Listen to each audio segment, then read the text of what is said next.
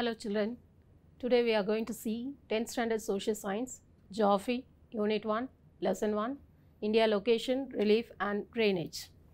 Before going to this lesson, I just want to ask you a small few questions. How do you locate a place? For example, if you want to travel to a other state, a district or a country, how do you find a address or a location of a place? Yes, correct. Now everybody is having the Android mobile phone with us.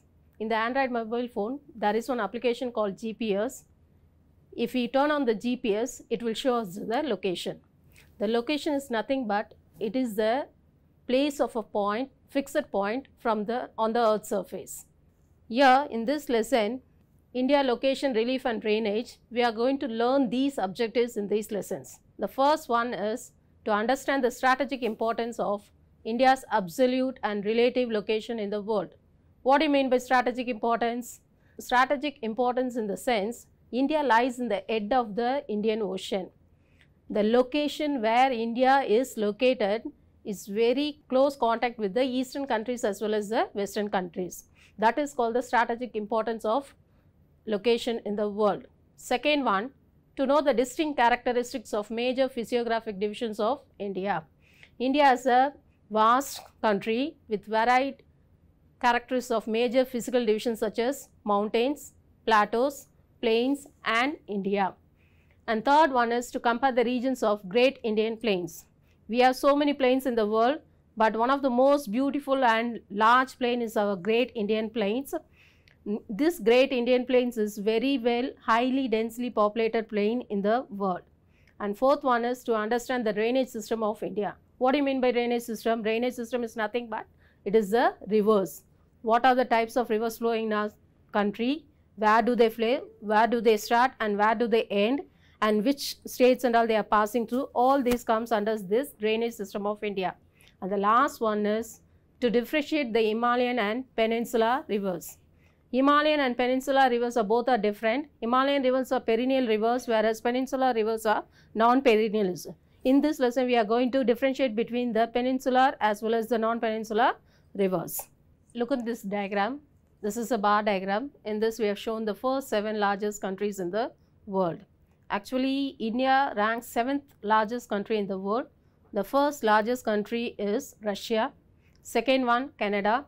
Third one USA fourth one China, fifth one Brazil, sixth one Australia and the seventh position goes to India. So, India ranks seventh largest country in the world. India is the seventh largest country in the world and it is the second largest country in Asian continent. You know all very well the entire world is divided into seven continents. Out of the seven continent, Asia is the biggest continent. In the Asian continent, India lies in the southernmost part of the Asian continent. It stands as the second largest country in Asia, whereas first place goes to China. India accounts 2.4% of the total land area of the world. It has an area of 3.28 million square kilometers. That means 32 lakhs 87,263 square kilometers. It is separated by the Himalayas from the rest of the continent. India's land and water frontier. India shares its long, long land frontier is about 15,200 kilometer with the neighboring countries like Pakistan in the west, Afghanistan in the north, northwest, China, Nepal and Bhutan in north, Bangladesh and Myanmar in east. Again I will repeat, India shares its longest land frontier of about 15,200 kilometer with Pakistan in the west, Afghanistan in northwest, China, Nepal and Bhutan in the north, Bangladesh and Myanmar in the east. India shares its longest border with Bangladesh which is 4156 kilometer whereas shortest border is with Afghanistan is just 106 kilometer. India has a long coastline of 6100 kilometer which includes three important oceans. One is Bay of Bengal in the east, Arabian Sea in the west and Indian Ocean in the south. The total length of the coastline including islands is 7516 kilometer. India and Sri Lanka are separated by a narrow and shallow sea called Palk Strait. This is an important question. This is an important one mark question. So, students please listen once again. India and Sri Lanka are separated by a narrow and shallow sea called Palk Strait. They may ask like this, dash separates India and Sri Lanka. The answer is Palk Strait.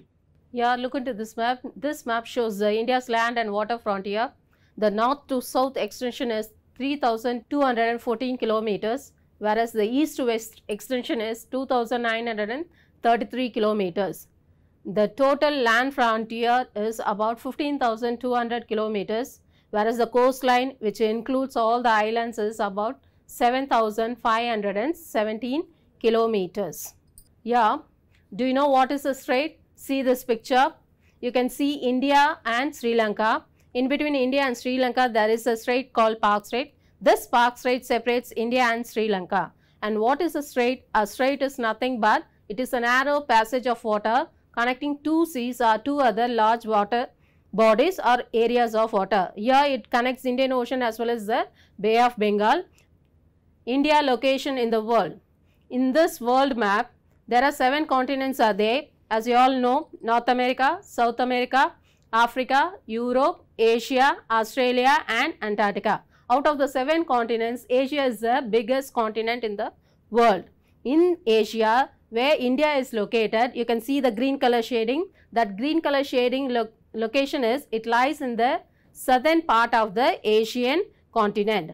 Below India, there is an ocean called Indian Ocean. That is the strategic location of India which can easily contact with the eastern countries as well as the western countries for trade activities. So, this is the main importance of the location of India in the world. Indian landmass has a central location between East and West Asia. It lies in the southernmost part of the Asian continent. The trans-Indian ocean routes that is this ocean routes connects the European countries in the west as well as the East Asian countries in the east which provides a strategic location of India. It helps in India establishing a close contact with the Asian, African and European countries. India a subcontinent. What do you mean by subcontinent? A subcontinent is nothing but a continent which possesses the distinct characteristic features like physical features as well as the cultural features. It's said to be a subcontinent. Here in India, along with the countries of Myanmar, Bangladesh, Pakistan, Nepal, Bhutan and Sri Lanka is called a subcontinent. This region is separated from the rest of Asia by a chain of mountains that is especially it is located in northwest, north and northeast by a chain of mountains in the northern direction and by seas in the south direction. It possesses distinct characteristic features like physiography that means physical divisions, climate, natural vegetation, minerals, human resources etc. So, it is said to be a subcontinent. This is a picture showing the countries constituting Indian subcontinent and here the first one is India and the second one is Bangladesh, third one is Sri Lanka, fourth one is Maldives and fifth one is Nepal, sixth one is Bhutan and seventh one is Pakistan. Totally there are seven countries which includes the six countries along with India which constitutes the Indian subcontinent. Location and extent. Before going to the location, I just want to say what do you mean by location? A location is nothing but it is a place on the earth's surface. How do you identify a location? This location can be identified with the help of latitudes and longitudes. In lower classes you would have learned that latitudes and longitudes are the imaginary lines which runs across the horizontal as well as the vertical lines. Latitudes are the imaginary lines which runs from east to west direction whereas longitudes runs from north to south direction. There are so many important latitudes are there out of which equator the 0 degree latitude which divides the earth into two hemisphere. The equator is the 0 degree latitude which divides the earth into northern hemisphere and southern hemisphere. In this equator, the places which are very close to the equator, they receive the very hot and climate, climatic conditions. That is why it is said to be a hot or torrid zone. The places which are away from the equator, they used to receive a temperate climate and the places which are very near to the poles are known as they used to receive the frigid zone. And next one is the latitudes are always helps to find out the location of a particular place. As far as India is concerned, you can see in this map, there are some um, vertical lines are there. This vertical lines can be said to be the north-south extension as well as the east-west extension of India and India extends from 8 degree 4 minutes north to 37 degree 6 minutes north latitudes and 68 degree 7 minutes east to 97 degree 25 minutes east longitudes. Hence, India is located in the northeastern hemisphere. In two more questions, what do you know about the latitudinal and longitudinal extension of India? India extends from 8 degree 4 minutes north to 37 degree 6 minutes north latitude whereas longitudinal extension is 68 degree 7 minutes east to 97 degree 25 minutes east longitude. Hence, India is located in the northeastern hemisphere. The southernmost point which lies in India is the Pygmalion point or otherwise it is said to be Indra point. The latitude is 6 degree 45 minutes north latitude which lies in Andaman Nicobar Islands in Bay of Bengal. The southernmost point of mainland of India is Cape Comorin which is also known as Kanyakumari. The east-west extension is 2933 km and it stretches from Rann of Kutch which is in Gujarat in the west to Arunachal Pradesh in the east. The Tropic of Cancer 23.5 degree north latitude passes through the middle of the country dividing into two equal halves. This Tropic of Cancer divides India into two parts. The part which is just lies above the north of Tropic of Cancer is called non-peninsular India. The part which lies below the Tropic of Cancer is called Peninsula India. This Tropic of Cancer degree is 23 and a half degree north which passes through the middle of the country dividing into two equal halves. The states through which the Tropic of Cancer passes are number 1 Gujarat, number 2 Rajasthan, number 3 Madhya Pradesh, number 4 Chhattisgarh, number 5 Jharkhand, number 6 West Bengal, number 7 Tripura. And last one is Mizoram. You can easily identify this Tropic of Cancer, the dotted line is dividing the India into two parts. That is Peninsula India and non-peninsula India. Non-peninsula India is North India and Peninsula India is South India. And um, what are the boundaries of Indian country is on the north it is surrounded by Himalayas, to the south it is surrounded by Indian Ocean, in the east by Bay of Bengal and in the west by Arabian Sea. These are the boundaries of the Indian country and next topic is Indian Standard Time. Before going to the Indian Standard Time, how is time is calculated based on which? I already told that earth is made up of two important uh, imaginary lines, one is latitudes and another one is longitudes. These two latitudes and longitudes geographical coordinates, they will meet together and that point is known as the grid. Here, the longitude helps to find out the time of a particular place. Here in India, the longitudinal difference between Gujarat and Arunachal Pradesh in the east is about 30 degree. That means, I already said longitudinal extension of India is 68 degree 7 minutes east longitude as well as 97 degree 25 minutes east longitude. That 68 degree 7 minutes is Gujarat and Arunachal Pradesh is 97 degree 25 minutes east. The difference between these two areas is how many longitudes are there means 30, 30 longitudes. Uh, the difference between one longitude to another longitude is 4 minutes. So, therefore, 30 into 4 which is equal to 120 minutes.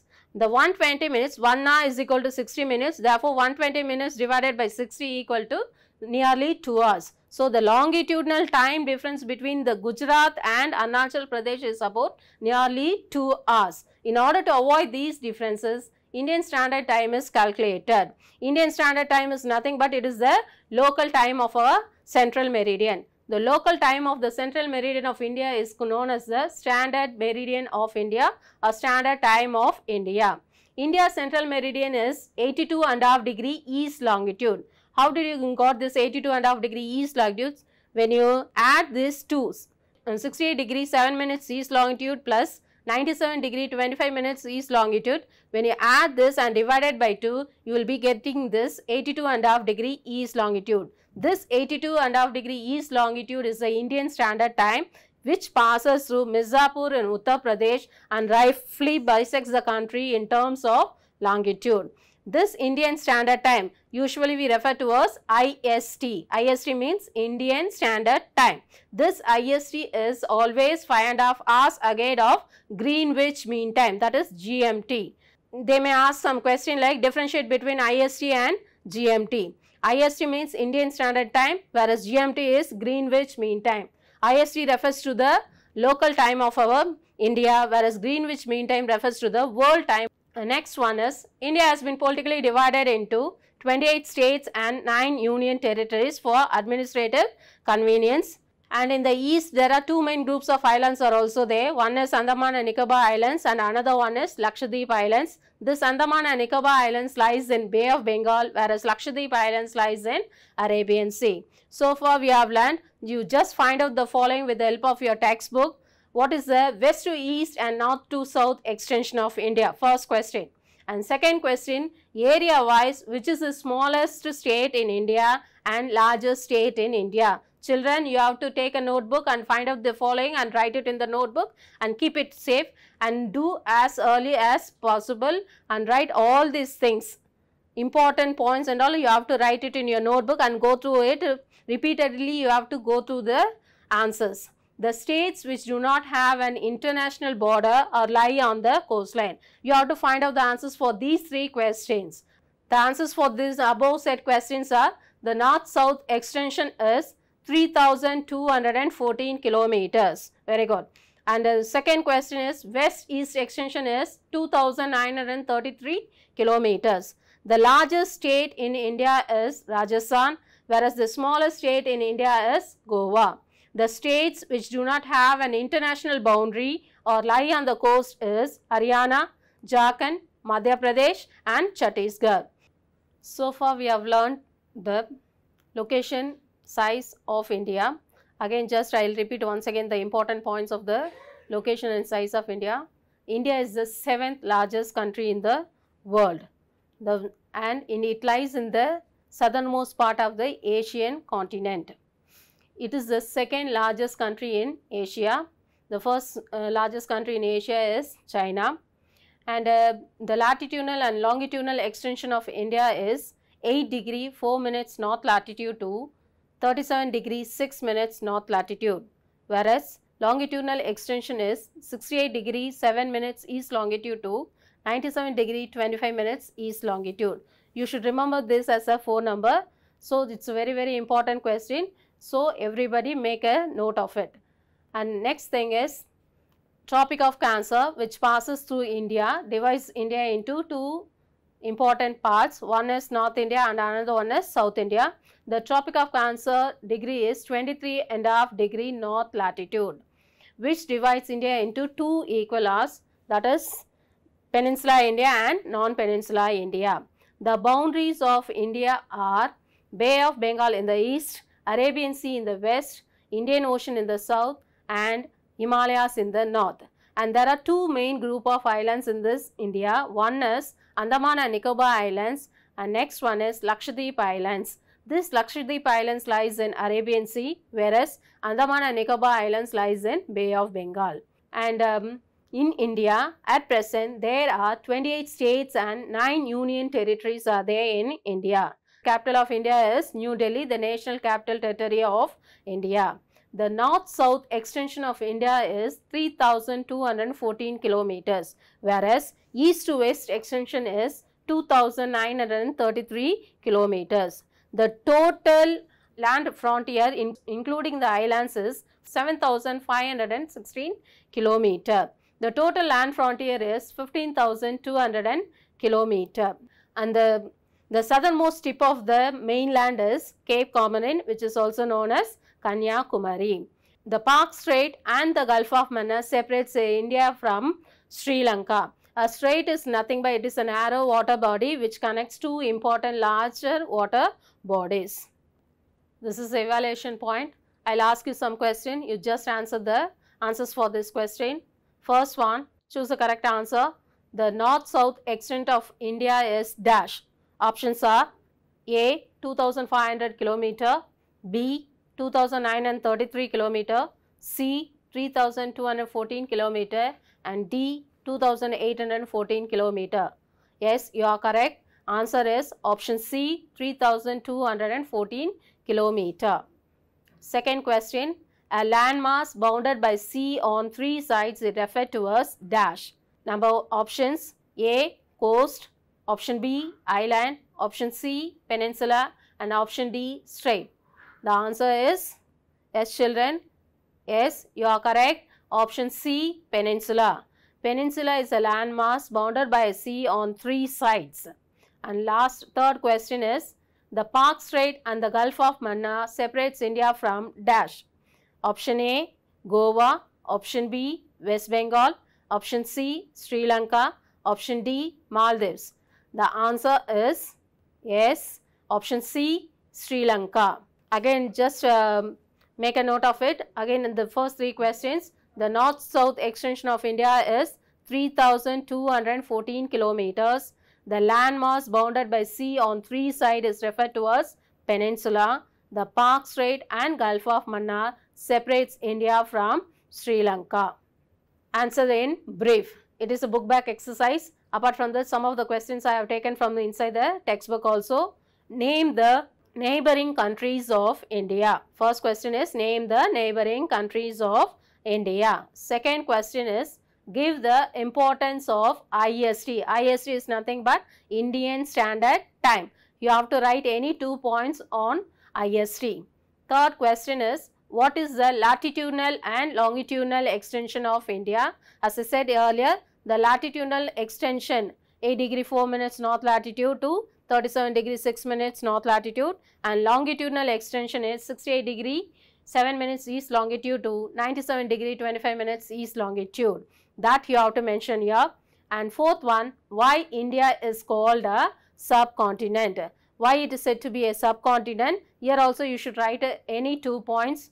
What is subcontinent? What is the definition for subcontinent? What is the speciality of a subcontinent? And fifth one is what is the longitudinal difference between Gujarat and Andhra Pradesh? How much latitude is the difference between Gujarat and Arunachal Pradesh? That you have to mention in the sentence. And the last question is name the southernmost point of mainland in India.